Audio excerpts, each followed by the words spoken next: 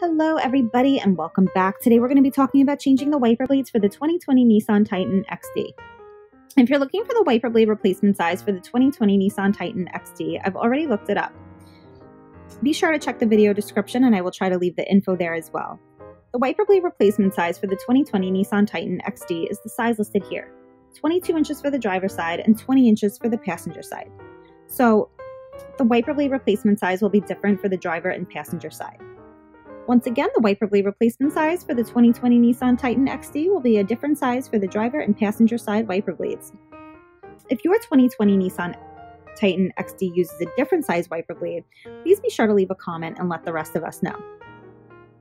You can check the video description for the most recent price, and if you know a cheaper place to buy a wiper blade replacement for the 20, 2020 Nissan Titan XD, please leave a comment. Some reasons why you would want to change a wiper would because would be because they're damaged, stolen, old, or not working properly. So I definitely suggest changing them about every six months or so. This seems to be the amount of time that they last before you'd have to go ahead and change them for new ones. So we thank you guys so much for taking the time to watch my video. And if you found it useful, please feel free to leave a comment. Thanks, guys.